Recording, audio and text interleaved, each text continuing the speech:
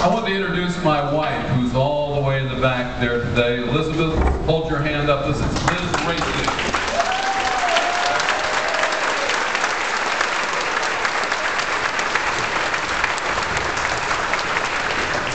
Thank you, Liz, for everything that you've done so far. We have, what, seven to eight more days? It's seven or eight.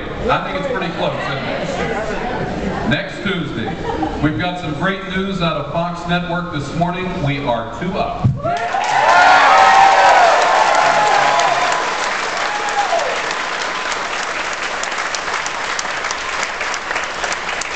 So many times when you see negative advertising, you are tempted to go off message. Liz and I have never been off message.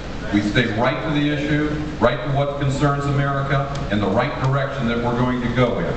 And I believe that has been the effectiveness of our campaign is the fact that we haven't got off and been sidetracked. We're looking forward to these next, what, next week of upping our advertising, upping our effort, and to close this one out the way that we should. We're going to win it, okay?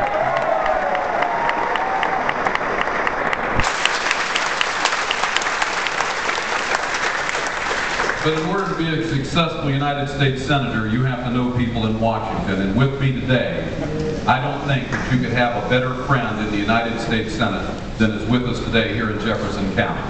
I want to just tell you that the first time I ever met John McCain was in Charleston, West Virginia. It was 1986. I was chairman of the party, and it was really hard to raise money. He came in and we raised $20,000 just for the fact that he was at that time a congressman aspiring for a much higher office. But when you look at his record that he has given this country, it is just incredible. And as you've heard me, and with my support of what we do in this country as far as national defense, and I'm sure you heard a lot of down at the Musselman, here's a guy that in, when I was growing up and when I was in college, this was one of our heroes. This is a real, authentic American hero.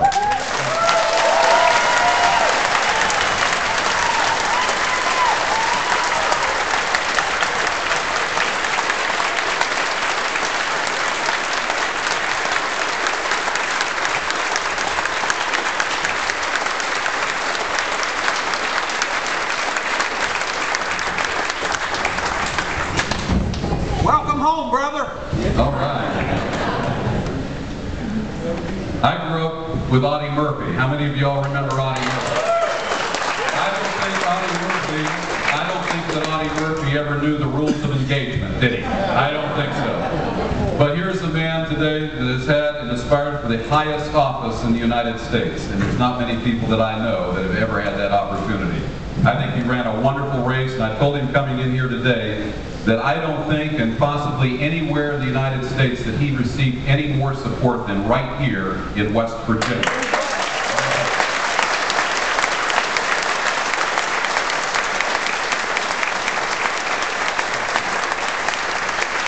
In the United States Senate, John McCain has been a fighter, a fighter watching your dollars. Remember, Washington doesn't have their own, do they? They have our dollars. This is a man that has been violently against earmarks.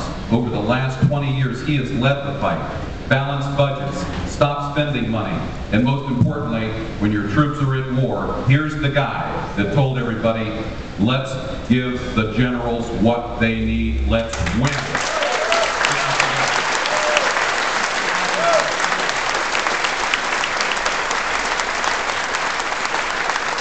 When you look, when you look at the success in Iraq that we've had, this is the man that gave us those successes because President Bush needed his guidance, and the guidance came from John McCain. It is with a great amount of honor and a distinguished pleasure that I have the opportunity right now to introduce one of the greatest senators, a former presidential candidate that I have admired beyond belief, Senator John McCain. Thank you.